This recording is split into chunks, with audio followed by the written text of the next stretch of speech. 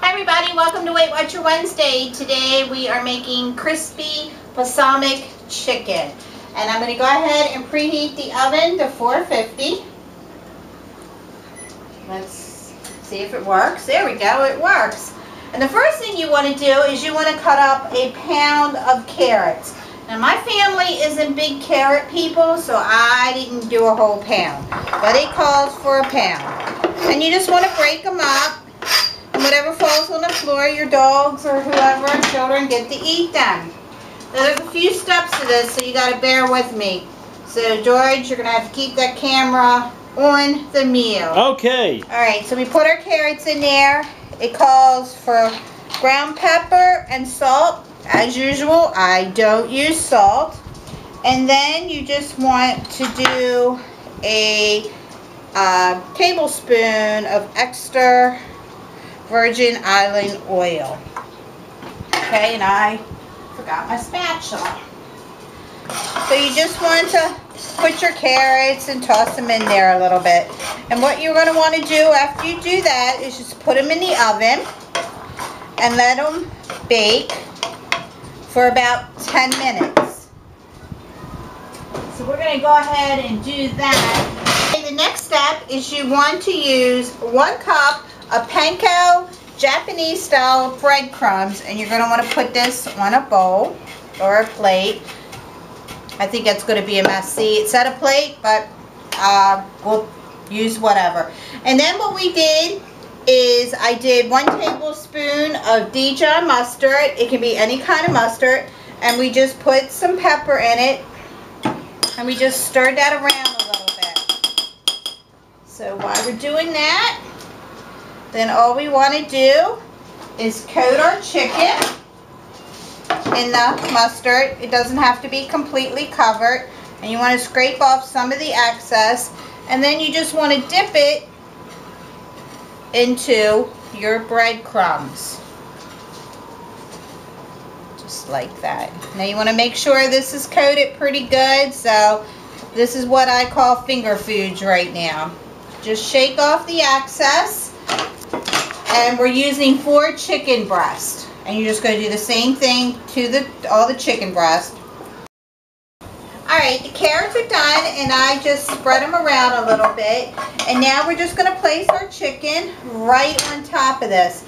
Now my chicken breasts are, are bigger than what the um, recipe calls for because my boys aren't on a diet. So it does call for one and one fourth pound of skinless boneless chicken. So we're just going to pop this back in the oven, put it in for 20 more minutes. And then while that is cooking, you want to go on to your next step.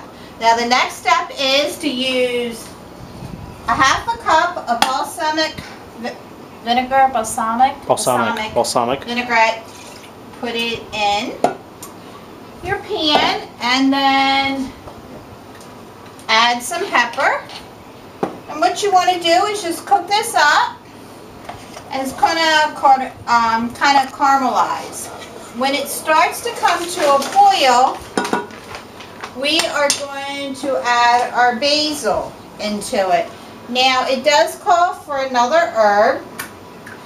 Um, but I couldn't find it in any of the grocery stores that I went to. I'm going to have to, for future, go to the um, Whole Food warehouse or whatever that place is called where they sell all the different kinds of um, herbs and things like that. But it's Argula? Argula. Argula. Argula. Arg Argula. Argula. A-R-G-U-L-A. I'm not Italian.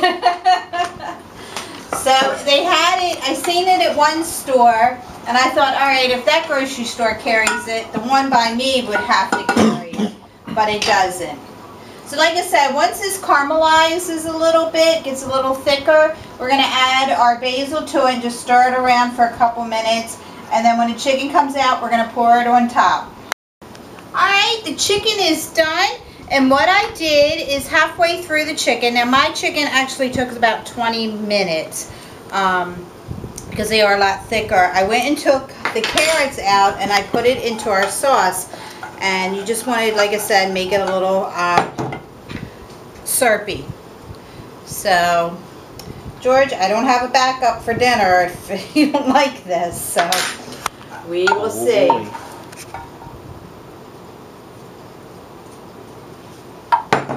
All right. My honest taste tester, whether it's a keeper or not, Here we go. that could be debatable. Dun, dun, dun. Make sure you get some carrots.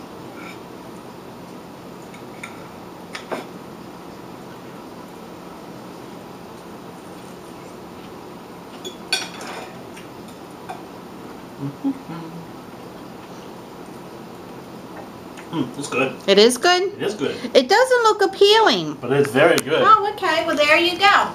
So it altogether it took 30 minutes.